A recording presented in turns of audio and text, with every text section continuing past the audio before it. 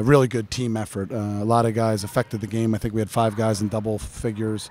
It certainly helps to have guys that make shots, uh, and when the ball goes in the basket, everything goes a little bit better. So we shot the ball well from the field, but I thought defensively we did a good job as well. In fact, in the first half, I think they had maybe 11 turnovers. Communication is the biggest thing in basketball. Makes your life easier, particularly the way we play, which is switching a lot of screens. So um, I thought our communication was good tonight.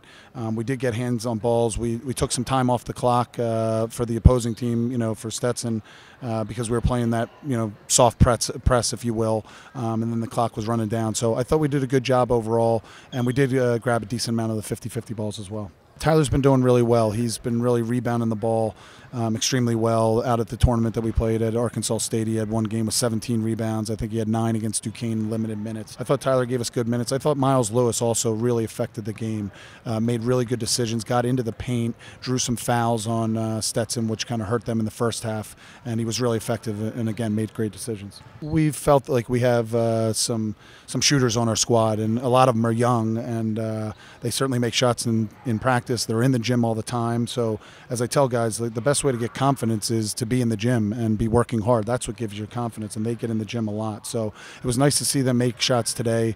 Uh, Stetson was playing their zone, and you know sometimes if you miss some shots early, you start getting a little more tight. So it was nice to knock them down uh, early, but also throughout the game, and uh, you know uh, multiple guys contributed to that uh, effect.